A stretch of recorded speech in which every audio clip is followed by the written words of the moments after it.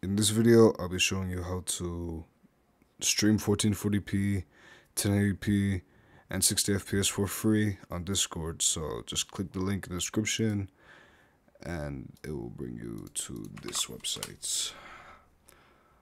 And then you just want to scroll down a little bit and press VencordInstaller.exe. And it'll download. Just click this, open.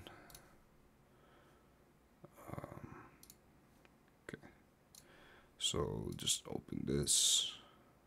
It'll say, it'll most likely say this. Just press more info. Run anyway. Don't worry, it's not a virus. Uh, it should be automatically selected on the right one. So there should be two options: custom install location and uh, your boot drive. And then this, if it's stable, uh, it should be this one. Uh, just press install. Make sure discord is closed. So you right click it and then press close. If it gives you an error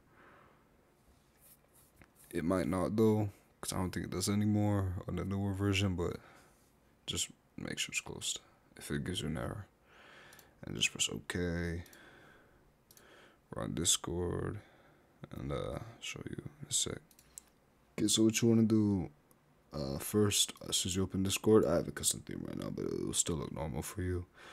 Uh, you want to go down to Vencord and then go to plugins. Search for plugin, just put NIT. The first thing that should show up, um, Fake Show. Turn this on and press restart, and it'll restart. It'll put you back, and I'll show you proof that it works. Okay, so I'm in my test server now, and I'll show you that works. So I'm gonna go into the VC and then um, show screen. As you can see, one of those screens it gives me the option. You can do 4K though, which is fine. Uh, 1080p, 1440p, and 60. I'm gonna do 1440p 60. Go live. As you can see, it is 60 FPS. The stream, as you can see, um, Nitro streaming quality. I'll show you in a sec.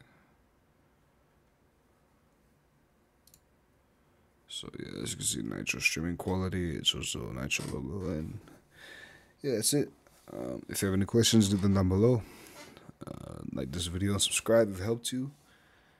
Uh, thank you.